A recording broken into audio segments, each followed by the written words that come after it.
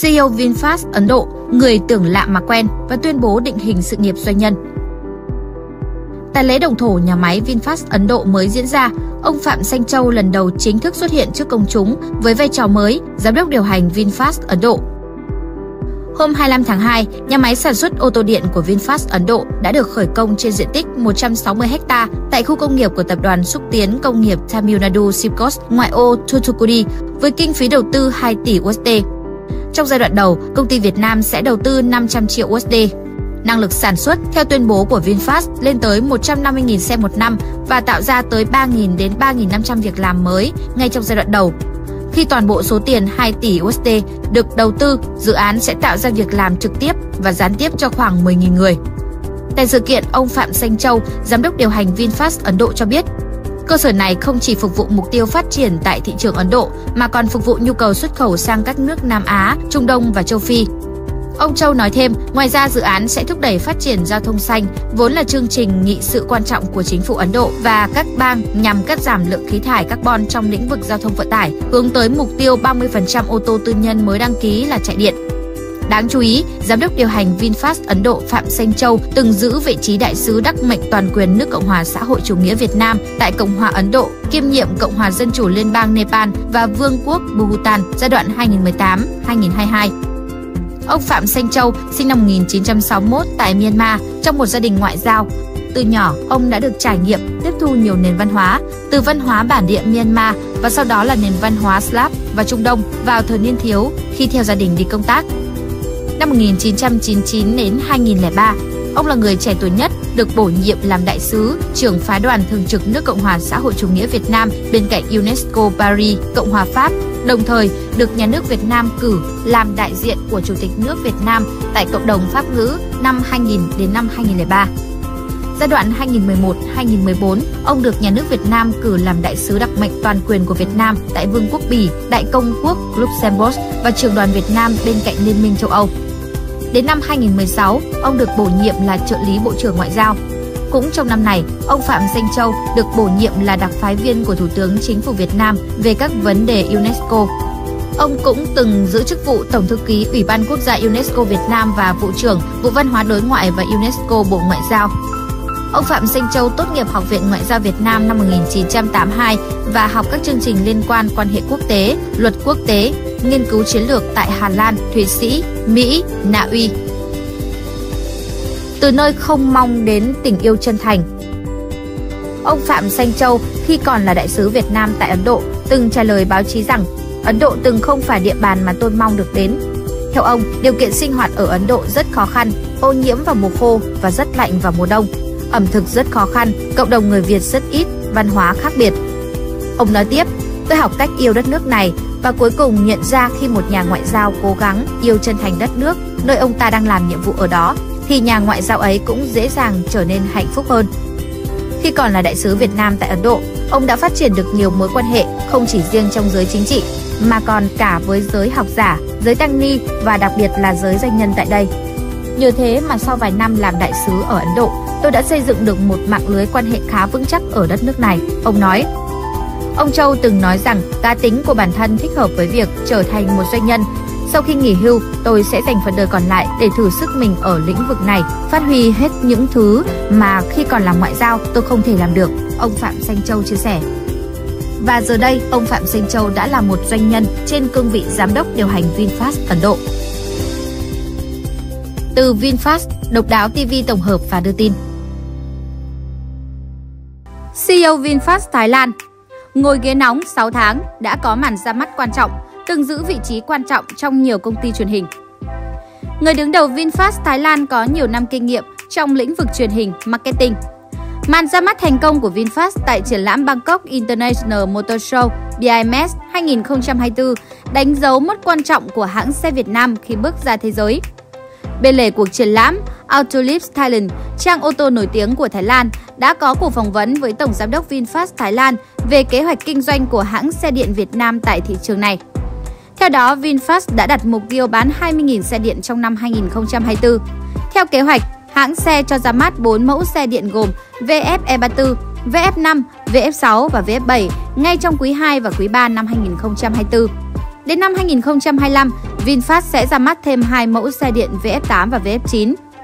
Người đứng đầu VinFast Thái Lan chính là nữ doanh nhân Vũ Đặng Yến Hằng. Ở vị trí này, bà Hằng đóng vai trò quan trọng trong việc đưa thương hiệu Việt ghi tên vào bản đồ thị trường ô tô Thái Lan nói riêng và Đông Nam Á nói chung. Tổng giám đốc VinFast Thái Lan là ai?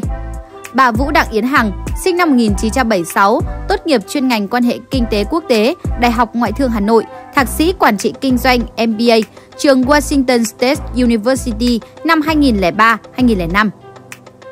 Trước khi gia nhập VinFast, bà Hằng đã đảm nhiệm các cương vị quản lý cấp cao tại nhiều công ty khác nhau, có thể kể đến người đứng đầu, giám đốc điều hành, phó tổng giám đốc các công ty như Công ty cổ phần truyền thông Thanh Thiếu Nhi, kênh truyền hình HTV3, kênh miền Nam của truyền hình An Viên, Gian TV, SCTV, Vinpearl. Bà cũng chính là nữ phó tổng giám đốc đầu tiên của SCTV. Theo tài khoản LinkedIn, bà trở thành tổng giám đốc VinFast Thái Lan từ tháng 10 năm 2023, 5 tháng sau khi VinFast tham dự triển lãm Future Mobility Asia. Đây là sự kiện đánh dấu lần đầu tiên VinFast công bố định hướng mở rộng sang thị trường Đông Nam Á, trong đó có Thái Lan. Bà chia sẻ tại BIMS 2024, VinFast tự hào mang đến BIMS 2024 những mẫu xe thông minh, sáng tạo và thân thiện với môi trường. Giải sản phẩm đa dạng và chất lượng vượt trội khẳng định vị thế dẫn dắt trong thị trường xe điện khu vực và toàn cầu của VinFast. Với dịch vụ hậu mãi vượt trội, chúng tôi sẽ mang đến những trải nghiệm điện hóa thú vị, cam kết đồng hành cùng người tiêu dùng Thái Lan trong cuộc cách mạng giao thông xanh. Kế hoạch của VinFast ở Thái Lan là người đứng đầu VinFast Thái Lan sau màn ra mắt đáng chú ý của VinFast ở BIMS 2024, bà Vũ Đặng Yến Hằng sẽ giữ trọng trách triển khai các kế hoạch của thương hiệu Việt ở thị trường này. Ngoài kinh doanh xe điện, hãng cũng có kế hoạch thâm nhập thị trường xe máy điện tại Thái Lan. Thị trường xe điện Thái Lan tuy còn nhỏ nhưng đang phát triển nhanh chóng. Theo công ty nghiên cứu thị trường Counterboy Research, Thái Lan chiếm 58% tổng doanh số bán xe điện ở Đông Nam Á vào năm 2022 xếp trước cả Việt Nam và Indonesia. Dù vậy, thị trường xe điện Thái Lan cũng chỉ tương đương 0,5% toàn cầu. Điều này sẽ thay đổi nhờ các ưu đãi và trợ cấp từ chính phủ. Đất nước với hơn 70 triệu dân này có kế hoạch đưa xe điện chiếm khoảng 30% số xe sản xuất mới trong năm 2030, hiện tại đang ở mức 2,5 triệu phương tiện sản xuất hàng năm. Trước khi mở rộng sang Thái Lan, VinFast đã tiến hành nghiên cứu thị trường sâu rộng để tìm hiểu sở thích của người tiêu dùng Thái Lan – Điều này khiến chúng tôi lên kế hoạch ra mắt 4 mẫu ô tô điện trong nước trong năm nay. Bà Vũ Đặng Yến Hằng nói với Calshot Elite, tờ nhật báo của Thái Lan. Khác với Indonesia nhận được sự đầu tư xây dựng nhà máy, Thái Lan là thị trường mà VinFast lựa chọn đi theo con đường tập trung bán lẻ, ít nhất trong một thời gian tương đối dài. Giai đoạn đầu, VinFast sẽ tập trung mở rộng mạng lưới đại lý tại Thái Lan theo hình thức showroom 1S cộng với mô hình này, đại lý sẽ linh hoạt trong việc đầu tư kinh doanh và chờ đợi phản hồi từ người tiêu dùng. Sau đó, hãng sẽ tiếp tục mở rộng thêm các trung tâm bán hàng và dịch vụ theo hình thức 3S. Gần đây, VinFast đã ký kết thỏa thuận hợp tác với 15 đại lý để mở 22 showroom tập trung vào các tuyến đường chính tại Bangkok và các khu vực xung quanh, trong đó có các tỉnh lớn như Chiang Mai, Khon Kaen, Ubon Ratchathani, Ayutthaya và Chonburi. Ban đầu, những chiếc xe VinFast ở Thái Lan sẽ dùng chung chạm sạc với các xe khác, nhưng hãng cũng có kế hoạch hợp tác với công ty xây dựng chạm sạc thuộc sở hữu của VinFast, Vigreen Chúng tôi đặt mục tiêu mở rộng mạng lưới phân phối xe điện phủ khắp các thành phố lớn của Thái Lan, bắt nhịp với cuộc cách mạng giao thông xanh mạnh mẽ của đất nước và trên toàn cầu, bà Hằng cho hay. Bên cạnh đó, VinFast đang nghiên cứu kế hoạch sản xuất xe điện tại Thái Lan nhằm đáp ứng các điều kiện để nhận được trợ cấp của chính phủ. Tuy nhiên, điều này có thể không diễn ra trong tương lai gần. Chúng tôi cần phải xem xét phản ứng sau khi sản phẩm được tung ra thị trường Thái Lan. Tổng giám đốc VinFast Thái Lan cho biết. Sếp VinFast tiết lộ đầu tháng 7 sẽ bàn giao chiếc xe điện đầu tiên từ Hải Phòng sang Thái Lan, đang tìm cách đầu tư trực tiếp vào xứ chùa vàng. Sau khi hợp tác chính thức với đại lý, VinFast chuẩn bị ra mắt các mẫu xe VF E34, VF5, VF6 và VF7 cùng với xe máy VinFast EV kèm theo thông tin chi tiết về giá cả. Mới đây tại triển lãm ô tô quốc tế Bangkok 2024 BIMS Thái Lan diễn ra từ ngày 27 tháng 3 đến ngày 7 tháng 4, VinFast giới thiệu dàn xe thuần điện ở hàng loạt các phân khúc VF3, VF5, VFe34, VF6, VF7, VF8, VF9. Chiếc concept bán tải VFY cũng lần đầu tiên ra mắt thị trường Đông Nam Á. Bà Vũ Đặng Yến Hằng, giám đốc điều hành VinFast Thái Lan, chia sẻ với Carsot Inlist rằng Thái Lan là thị trường hứa hẹn cho sự đột phá của VinFast trong lĩnh vực xe điện. Bà nhấn mạnh sự đón nhận tích cực của người tiêu dùng Thái Lan đối với ô tô điện sẽ là một lợi thế cho VinFast. Ngoài ra, công ty còn được hưởng lợi từ các chính sách hỗ trợ của chính phủ nhằm củng cố lĩnh vực xe điện. CEO VinFast Thái Lan đã tiết lộ cách tiếp cận tỉ mỉ của công ty trong việc thâm nhập thị trường Thái Lan. Trước khi mở rộng sang Thái Lan, VinFast đã tiến hành nghiên cứu thị trường để tìm hiểu sở thích của người tiêu dùng tại đây. Điều này khiến chúng tôi lên kế hoạch ra mắt 4 mẫu ô tô điện trong nước trong năm nay. Công ty đặt mục tiêu khởi động liên doanh tại Thái Lan bằng cách giới thiệu mẫu VF E34 vào tháng 6. Tiếp theo là VF5 khoảng 2 đến 3 tháng sau đó. Các mẫu VF6 và VF7 dự kiến sẽ ra mắt vào cuối năm 2024. Sau khi hợp tác chính thức với đại lý, công ty chuẩn bị ra mắt các mẫu xe VF E34, VF5, VF6 và VF7 cùng với xe máy VinFast EV kèm theo thông tin chi tiết về giá cả. Bà Vũ Đặng Yến Hằng cũng đã nhấn mạnh tầm quan trọng của chiếc xe VinFast VF E34 tại sự kiện. Chiếc xe crossover chạy điện 100% này được giới thiệu toàn cầu vào tháng 1 năm 2021 và đã nhận được nhiều phản hồi đáng khen ngợi từ người dùng trên toàn thế giới. Bà Hằng cho hay, được sản xuất chủ yếu tại nhà máy VinFast tại Việt Nam, VF E34 sẵn sàng mang đến cho người tiêu dùng Thái Lan một sự lựa chọn hấp dẫn khác trên thị trường xe điện. Công ty đặt mục tiêu giao lô xe VF E34 đầu tiên cho khách hàng Thái Lan khoảng một tháng sau khi ra mắt vào tháng 6. Bà Hằng giải thích thêm về chiến lược của họ. Trọng tâm ban đầu của chúng tôi là đánh giá phản ứng của thị trường Thái Lan. Chúng tôi muốn biết mẫu xe nào của chúng tôi gây ấn tượng nhất với người tiêu dùng Thái Lan. Để hỗ trợ cho đánh giá này, VinFast lần đầu tiên giới thiệu toàn bộ dòng sản phẩm của mình tại triển lãm ô tô năm nay nhằm thu thập thông tin chi tiết về sở thích của người tiêu dùng. Bà nói thêm, tính linh hoạt là chìa khóa cho kế hoạch phân phối của chúng tôi và chúng tôi sẵn sàng thích ứng dựa trên phản hồi và nhu cầu của thị trường Thái Lan. Nhận thấy sự cạnh tranh khốc liệt trong lĩnh vực xe điện của Thái Lan, CEO VinFast Thái Lan nhấn mạnh những thế mạnh khác biệt của công ty tại thị trường năng động này. VinFast tự hào có sự đa dạng về mẫu mã ở nhiều phân khúc khác nhau, tạo nên sự khác biệt cho mình như một nhà cung cấp giải pháp toàn diện. Bà khẳng định, VinFast nổi bật là thương hiệu duy nhất cung cấp 5 mẫu ô tô đa dạng cùng với xe máy điện phục vụ nhu cầu đa dạng của người tiêu dùng. Ngoài dòng sản phẩm đa dạng, VinFast đặt ưu tiên hàng đầu vào sự hài lòng của khách hàng thông qua các chính sách hậu mãi mạnh mẽ. Cam kết của chúng tôi không chỉ dừng lại ở việc bán hàng, tất cả các xe VinFast đều được hưởng chế độ bảo hành hàng đầu trong ngành, bao gồm bảo hành hệ thống chuyển động 7 đến 10 năm và bảo hành pin 8 đến 10 năm. Đây là chế độ bảo hành dài nhất trong số các thương hiệu xe điện.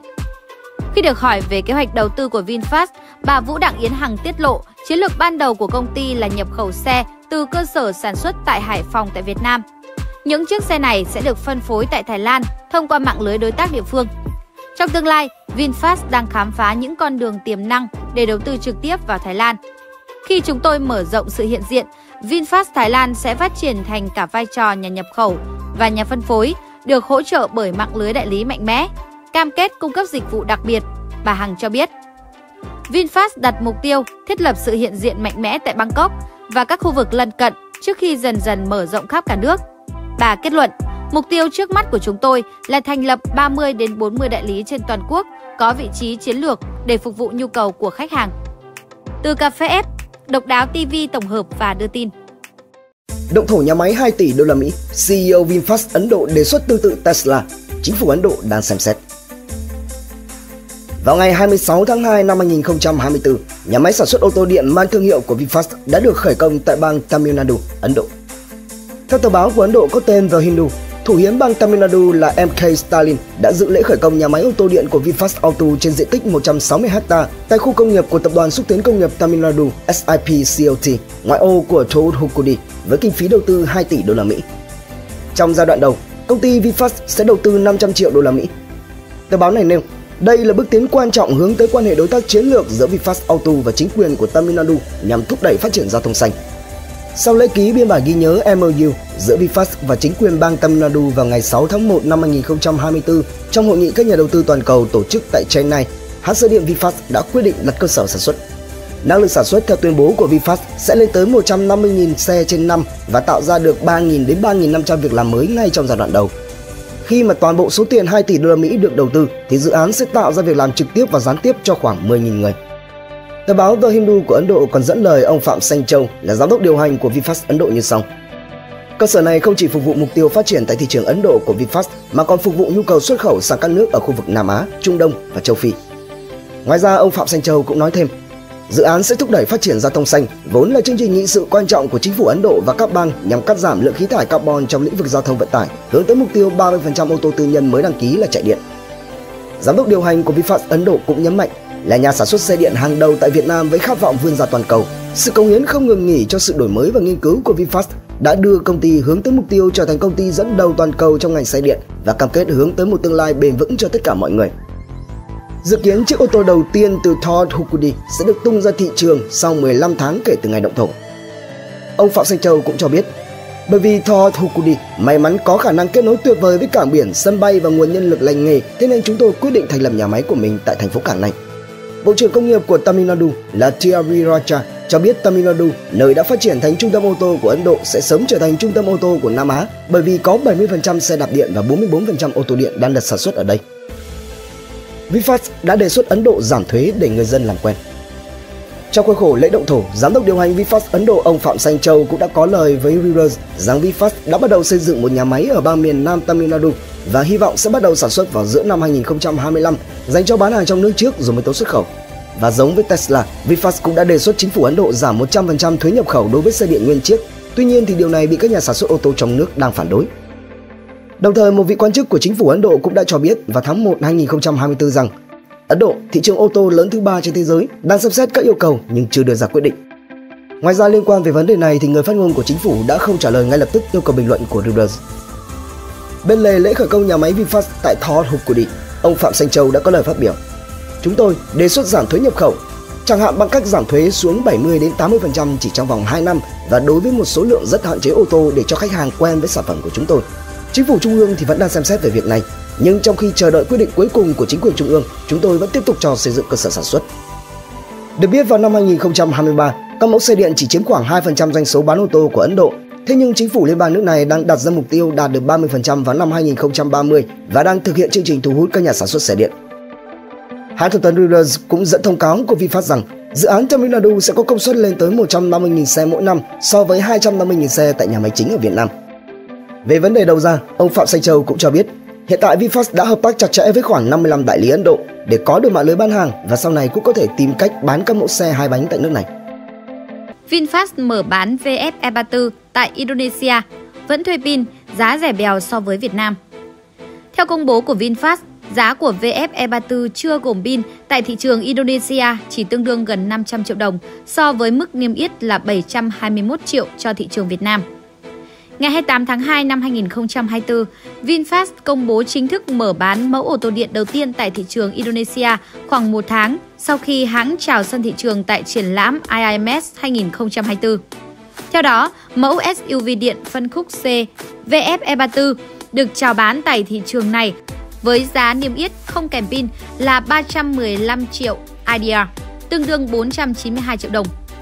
Như vậy, Mức giá chào bán của VF E34 tại thị trường Indonesia rẻ hơn nhiều so với thị trường Việt Nam 721 triệu đồng chưa kèm pin. Thậm chí, mức giá này chỉ nhỉnh hơn đôi chút so với mẫu VF5 tại thị trường Việt Nam 458 triệu đồng chưa kèm pin. Tuy nhiên, so với VF E34 phiên bản cho thị trường Việt, bản cho thị trường Indonesia đã được cắt giảm nhiều trang bị nhằm tiết kiệm chi phí. Tuy nhiên, hãng vẫn chưa công bố cụ thể xe được cắt giảm những chi tiết nào. Tại Indonesia, VinFast tiếp tục vận hành chính sách cho thuê pin với giá 1 triệu 500 IDR một tháng, tương đương 2,3 triệu đồng, cho quãng đường di chuyển tối đa 3.000 km và 2 triệu 600 IDR một tháng, tương đương 4 triệu đồng cho quãng đường di chuyển trên 3.000 km. Về hậu mãi, VinFast VFE34 được bảo hành 10 năm, bảo dưỡng và thay thế pin miễn phí nếu pin xuống dưới 70%. Ngoài cắt giảm một số trang bị, VF E34 phiên bản tay lái nghịch vẫn tương đồng với thị trường Việt Nam, gồm khối động cơ điện công suất tối đa 110 kW, mô men xoắn 242 Nm, dẫn động cầu trước. Xe dùng pin 42 kWh cho quãng đường di chuyển 318 km trong một lần sạc. Xe được hỗ trợ cập nhật phần mềm từ xa, điều khiển bằng giọng nói, tự động chẩn đoán và cảnh báo các vấn đề của xe, ghi nhớ thói quen sử dụng của người dùng. VF E34 cũng chính là mẫu xe điện đầu tiên của VinFast bán ra tại thị trường Việt Nam vào tháng 12 năm 2022. Dự kiến sau khi mở bán, những chiếc xe đầu tiên sẽ được bàn giao cho khách hàng Indonesia vào quý 2. Theo kế hoạch, VinFast sẽ mở rộng hoạt động tại ít nhất 50 quốc gia trên thế giới. Một số thị trường mới được hãng nhắm đến gồm Thái Lan, Ấn Độ, Philippines, khu vực Trung Đông và châu Phi. VinFast cũng lên kế hoạch xây nhà máy tại Mỹ, Ấn Độ và Indonesia, ngoài nhà máy tại Việt Nam. Từ cà phê F, độc đáo TV tổng hợp và đưa tin. VinFast ký thỏa thuận cung cấp 600 xe điện cho ba doanh nghiệp Indonesia. Jakarta, Indonesia, ngày 22 tháng 2 năm 2024. Trong khuôn khổ sự kiện IMS 2024, VinFast đã chính thức ký biên bản ghi nhớ về việc cung cấp 600 xe điện cho ba doanh nghiệp Indonesia. Thỏa thuận này khẳng định uy tín của VinFast và sức hút của thương hiệu tại thị trường Indonesia. Đồng thời, thỏa thuận này cũng giúp cho VinFast có được cơ hội khai thác được những tiềm năng to lớn của thị trường xe điện tại địa phương, cũng như thúc đẩy sự phát triển giao thông xanh trong khu vực. Theo thỏa thuận này, VinFast sẽ cung cấp 600 xe điện cho ba doanh nghiệp Indonesia, lần lượt có tên là PT Energy Mandiri Bumi Pertiwi, PT Sumber Amarta Jaya và PT Technology Karya Digital Nusantara Bukan. Các mẫu xe này sẽ phục vụ cho mục tiêu mở rộng đội xe doanh nghiệp của các công ty, đáp ứng được nhu cầu ngày càng gia tăng của thị trường giao thông xanh tại địa phương. Trong khuôn khổ sự kiện AMS 2024, VinFast đã thu hút được sự quan tâm của hàng nghìn khách hàng tham quan và nhận được hàng trăm đơn đặt cọc từ nhóm khách hàng cá nhân. Bên cạnh đó, việc ký kết với các khách hàng doanh nghiệp ngay khi ra mắt thương hiệu đã khẳng định được uy tín của VinFast và sự tin tưởng của thị trường Indonesia dành cho VinFast. Nhân dịp sự kiện này, ông Trần Quốc Huy, tổng giám đốc của VinFast Indonesia cũng đã có lời chia sẻ. VinFast rất vinh dự được lựa chọn là đơn vị cung cấp sản phẩm cho các đội xe doanh nghiệp và cùng với các đối tác khai phá những tiềm năng to lớn của thị trường xe điện tại Indonesia. Điều này không chỉ thể hiện được sự đón nhận của thị trường, mà còn khẳng định được năng lực cạnh tranh của VinFast trên toàn cầu. Chúng tôi cam kết sẽ không ngừng sáng tạo để có thể đồng hành cùng với khách hàng Indonesia trên hành trình chuyển đổi sang giao thông bền vững và cùng nhau kiến tạo nên một tương lai xanh cho mọi người. Bên cạnh đó thì lãnh đạo của một trong ba doanh nghiệp hợp tác cùng với VinFast trong lần này đó là ông Thomas Agung Utomo, tổng giám đốc của PT Energy Mandiri Bumi Pratiwi cũng đã có lời. Chúng tôi đánh giá cao tầm nhìn xanh và đóng góp của VinFast cho thị trường giao thông điện hóa toàn cầu. VinFast cũng là một nhà cung cấp xe điện uy tín, mang đến giải sản phẩm đa dạng cùng với chính sách hậu mãi vượt trội. Đây là những điều kiện then chốt để cho chúng ta cùng nhau đưa di chuyển điện hóa trở thành lựa chọn cho mọi người, hướng đến tương lai giao thông bền vững tại Indonesia và trong khu vực.